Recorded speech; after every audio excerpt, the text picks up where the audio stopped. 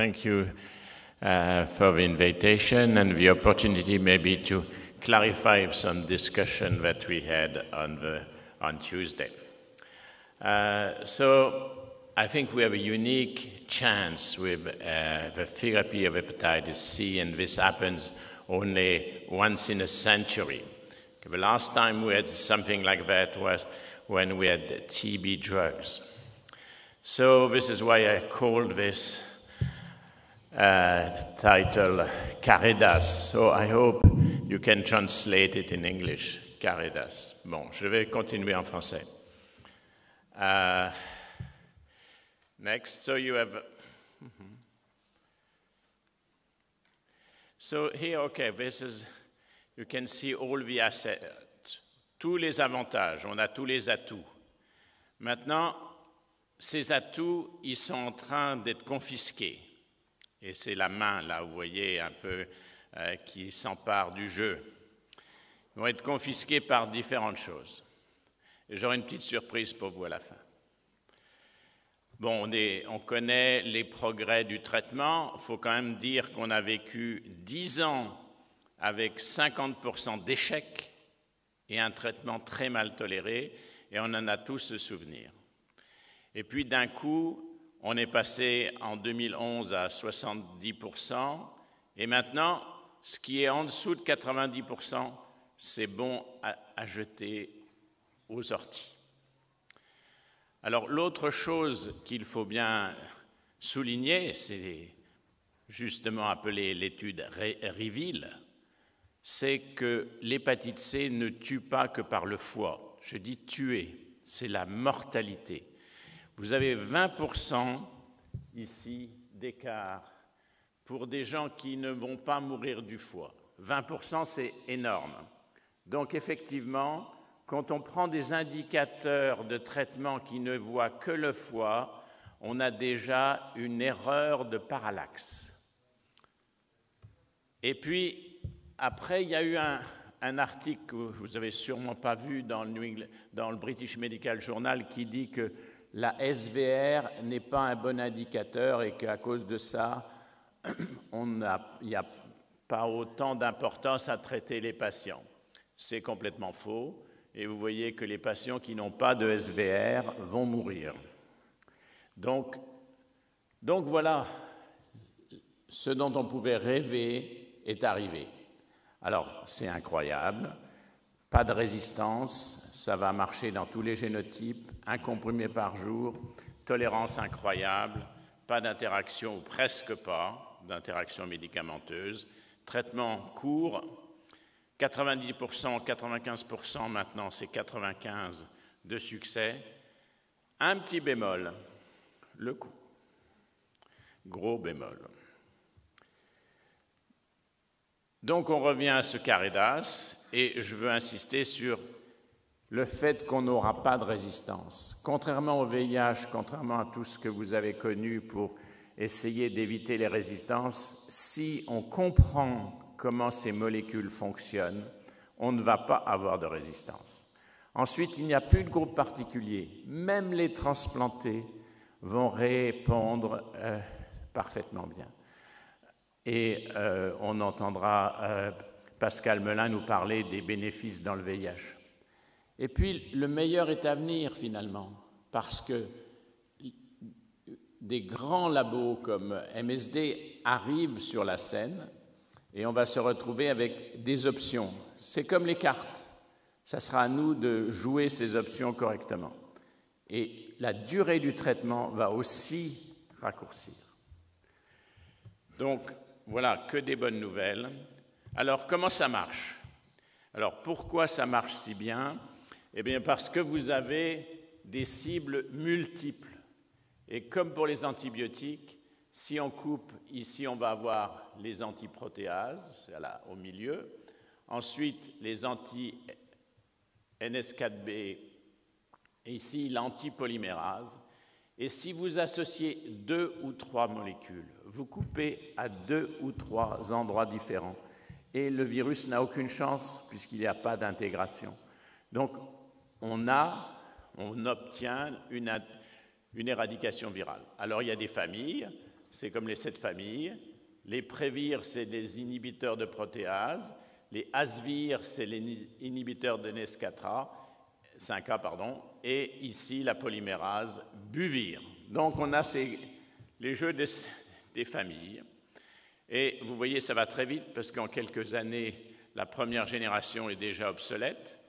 On a donc maintenant des antiprotéases de deuxième génération avec déjà plusieurs fabricants. Et puis on a Asvir, ceux-là, c'est ceux qui sont la clé du succès parce qu'ils agissent à niveau picomolaire. Ils sont très ciblés et ces enzymes n'ont aucun rôle dans les fonctions euh, générales de l'organisme. Donc là, il n'y a pas de toxicité. Donc voilà, on a toutes les cartes en main. Et voilà un exemple, vous associez une anti-NS5A à une antipolymérase et vous avez un produit fantastique qui s'appelle Arvoni. Et puis, pour pas faire de jaloux, Abvi a ses 3D, ces trois, agit sur les trois cibles, et vous voyez ce que ça peut donner. Ça donne du 100%, du 95%, même chez les patients qui avaient une réponse nulle. 95%, c'est des gens qui n'avaient pas du tout répondu aux autres molécules. Et puis ça se conjugue même chez les cirrhoses avec génotype 1. Vous voyez que vous êtes dans les 100% et que du coup, entre 12 et 24 semaines, parfois ça ne fait pas de différence. Parfois ça en fait une quand même. Là, on n'est plus à 95, on est à 80%. Donc il y a encore un peu de la technicité à gérer. Qu'est-ce qui reste comme question? Les cirrhoses, c'est plus un problème. Le G3, c'est plus un problème la vraie vie, ça confirme complètement ce qui s'est passé dans les études. Les échecs, ce n'est pas un problème. Restent quelques rares interactions médicamenteuses, exemple cordarone, et qui peut donner des soucis, donc il faut le savoir. Co-infection, Pascal Melin va vous en parler, c'est plus un problème, n'est-ce pas Pascal? Il va le dire, mieux que moi. Preuve du concept, tous les patients vont être curables. Dans tous les groupes, pas de question d'âge, plus, de détails, tout, va marcher. Donc, plaidoyer. Alors, bien sûr, il faut, enlever les équivoques. Bien sûr, qui, comment on va pouvoir traiter tous les patients? Ça devient coupable pour une collectivité de ne pas dépister. Ça devient très coupable parce que la maladie étant latente, les gens se retrouvent à la porte du cancer en n'a rien de temps. Et puis, bien sûr, il faut tarir euh, la, transmission. Donc, le groupe prioritaire, si on était dans un système cohérent et qu'on ne faisait pas des états d'âme, c'est bien sûr les usagers de drogue. On est d'accord Il n'y a pas de discussion là-dessus, je l'ai déjà dit mardi. Alors par contre, bien sûr, il y a un problème à gérer, c'est la, la file active. Et bien sûr, à juste titre, ce n'est pas sur des arguments comptables qu'on doit prendre des décisions. On est tous d'accord là-dessus. Mais alors là, quels sont les arguments? Parce qu'il en faut quand même. Alors, moi j'ai inversé la proposition de SOS. Bon, Pascal y reviendra. on est en transition là en France. Finalement, fin des inhibiteurs, plus d'interférons, c'est comme dans, les études, ça marche à tous les coups, mais on a ce blocage. Hein. Le blocage, il existe, c'est pas moi qui l'ai fait, mais tout le monde. Donc, qu'est-ce qui se passe pour les patients qui sont peut-être en problème d'attente? Alors, on sait que ce problème d'attente, bien sûr, ça concerne beaucoup de gens, des grands nombres et beaucoup d'enjeux financiers. Alors, la mortalité hépatique, les gens qui ne peuvent pas attendre.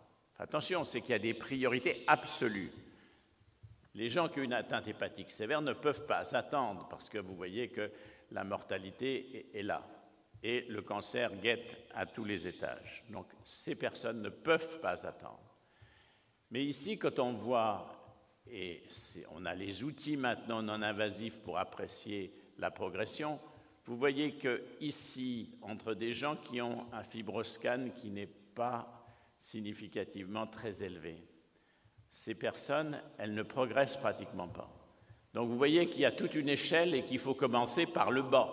Ça serait complètement coupable si on fait n'importe quoi comme aux urgences, qu'il n'y ait pas une priorité. Donc quelque part, il faudra trouver une, façon de faire les choses comme il convient. Pour les patients.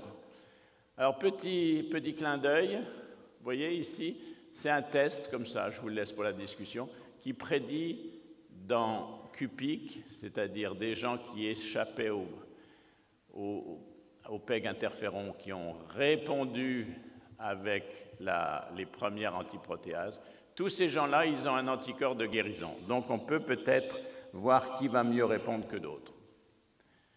Alors la question qui fâche, c'est ça. Ici, on ne discute pas, on doit se dépêcher, il y a de l'urgence, il y a de la... Il faut mettre en œuvre. Et puis, il y a des personnes qui ne seront pas en première ligne, qui sont en deuxième ligne, qui vont devoir être traitées, mais peut-être un peu décalées. Alors, bon, qu'est-ce qu'il faut faire pour traiter? Il faut un génotype, il faut savoir, du coup, faire le stade de la maladie et sa progression. Pas s'arrêter qu'au foie, mais voir les manifestations extrahépatiques. Avoir l'histoire précédente du traitement pour savoir qui. Et toutes les personnes qui ont déjà été traitées, bien sûr, sont prioritaires, c'est sûr. Et puis les comorbidités. Donc on doit décliner tout ça pour faire son métier décemment. Bien sûr, il y a un blocage, et ce blocage, il faut le faire sauter. J'y viendrai sur les diapos de la fin. Donc voilà, ça va, très vite. Vous voyez bien qu'on a commencé les nouvelles molécules en 14. Regardez, génération après génération, je ne vous détaille pas les indications, mais et il manque encore MSD là qui arrive. En plus, il n'y a pas d'angoisse. Regardez ce qu'il y a dans le pipeline. Regardez, regardez. Zéro angoisse. Il n'y aura pas de résistance si on sait prescrire. Alors, surveillance, un petit point important. On ne peut pas arrêter la surveillance, sauf peut-être chez les gens qui n'ont plus de virus et qui n'ont rien d'autre, plus, de, fibrose, il faudra vérifier. À l'inverse, ici, bah, il faut surveiller, et au milieu aussi, il faut surveiller. Donc, on doit surveiller. Pourquoi? Parce qu'il y a un risque de cancer. En finale, ah, bien sûr, on traite les conditions extrahépatiques, mais au cœur du problème, c'est l'évaluation de la fibrose. Mais nous ne sommes pas maîtres du jeu. Nous avons les atouts, mais nous ne sommes pas maîtres du jeu. Et donc, effectivement, il faudra que ça change. La, réponse prolongée associée à une régression de la fibrose, ça conditionne le risque de cancer et la surveillance. Et il faut ne pas enlever la surveillance. Alors, take comme message, il faut changer, redonner tout leur sens au RCP. Vous voyez qu'il y a encore des problèmes techniques à résoudre. Et puis, il faut valider une approche qui serait de garantir à tous les malades qu'ils n'ont pas de perte de chance et qu'on s'occupe de les suivre pour qu'ils n'en aient pas des pertes de chance. Alors, petit clin d'œil, voilà. Alors, vous reconnaissez deux choses. Ça, c'est de la croix, c'est la liberté guidant le peuple. Et puis derrière, c'est nos amis, les, euh, la terreur française de la Révolution. Entre les deux, il faut choisir. Merci.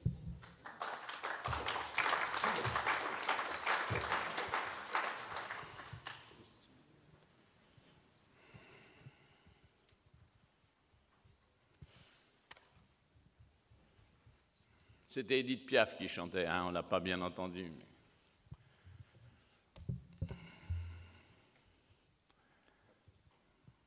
Bon, vous êtes gentil, plus gentil que mardi.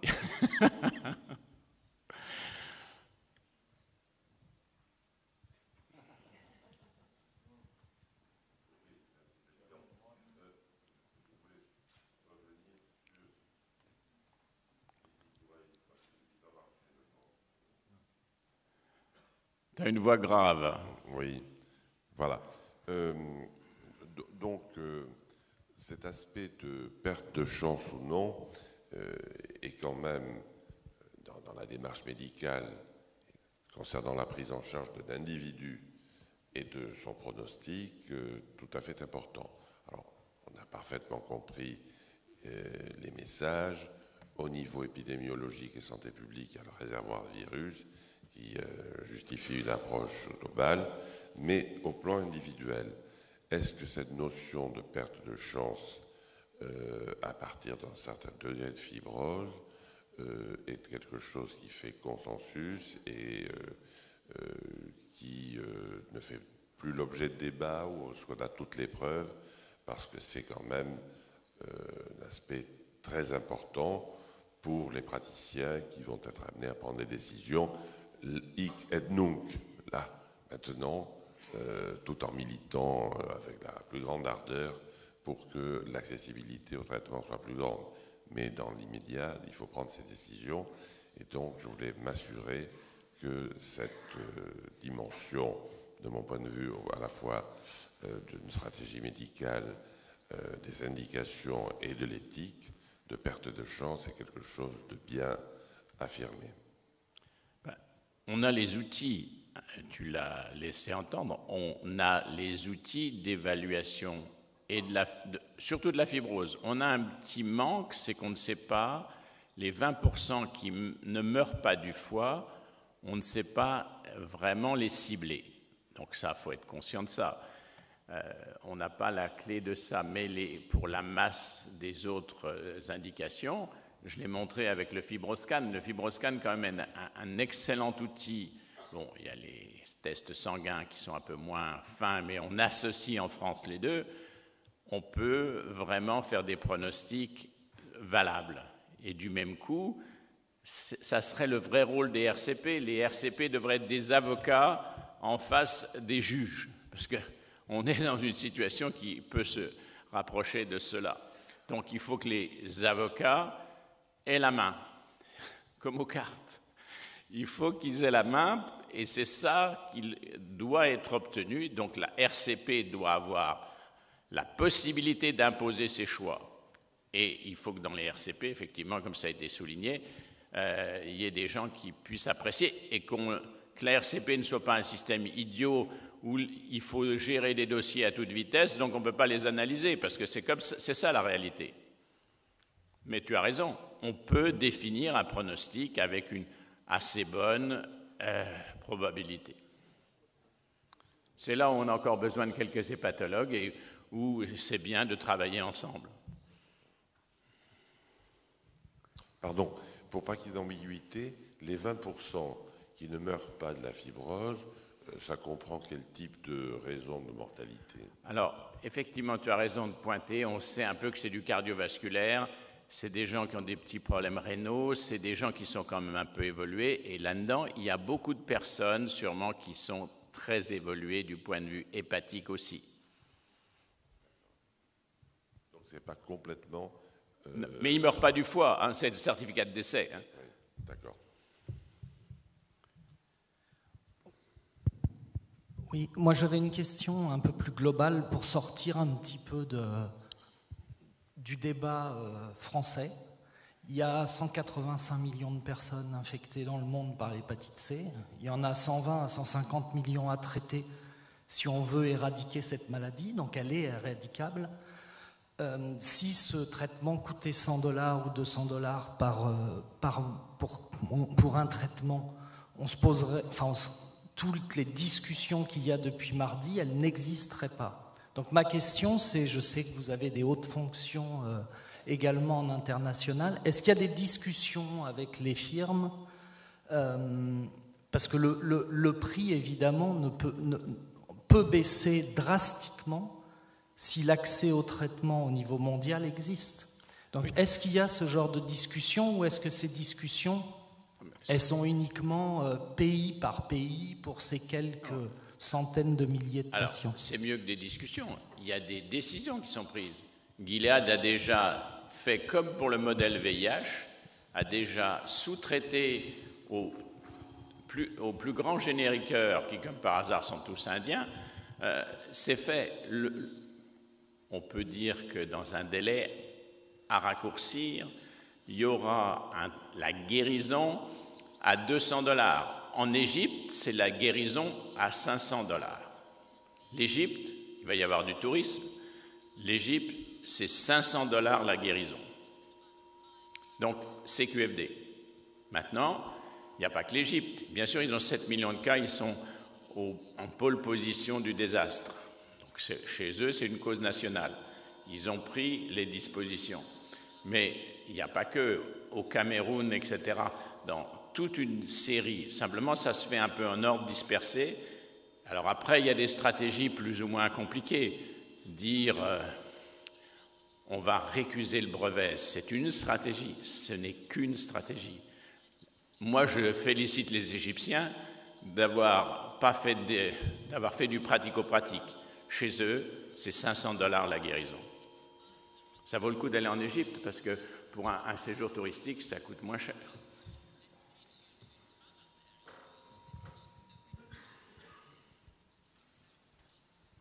Et 500 dollars, ça doit descendre à 200, je suis d'accord, parce que euh, le viréade, ténophovir, il est à 50 dollars l'année. C'est la même chose, c'est même la même boîte.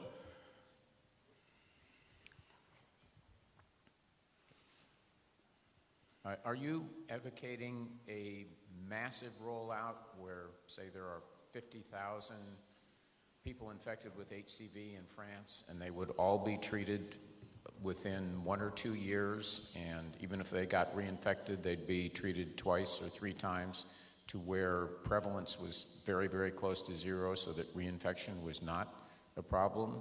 Or are you thinking of a more gradual rollout where those 50,000 people would be treated over five to 10 years, and you would select people with the greatest severity and the least likely chance of reinfection first, treating the, the uh, most in need, but also most likely to be successfully treated without reinfection? Or, you know, so are you basically, are you saying we should treat everybody with HCV in France within two years or within 10 years? I think you said both scenarios. Both scenarios have to be put in parallel. High priority for IVD use, HIV, and so on and so forth. And what we can manage at the top of that for the others. But we have to be uh, practical. We can take a loan, I think. we, and we have something what the big loan. You know, for research, we had a big loan. What is big loan is more debt but this is how we operate. Yeah. But if, if you don't do really massive treatment, then you've got a, a problem of likely reinfection, where if you did really massive treatment and got prevalence down to close to zero, reinfection would not be that much of a problem. I, I think reinfection is manageable because I think there are tests that can dissect who is reinfectable and who is not.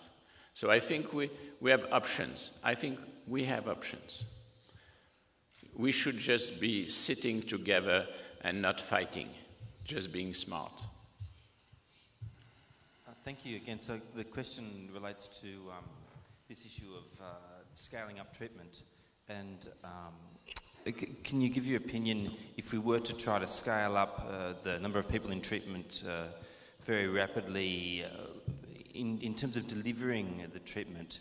Um, you know, it sounds like, uh, as you're saying, Perfectavir, the perfect drug, uh, no side effects, no complications, very easy to prescribe.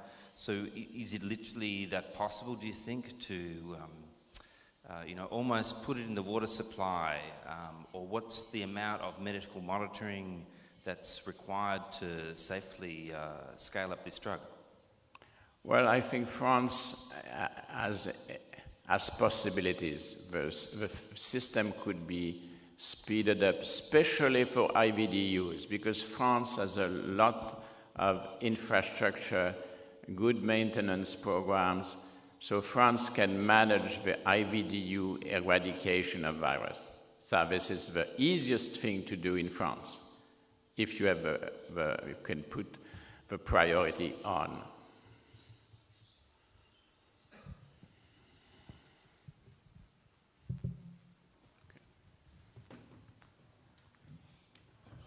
Merci Christian. Euh,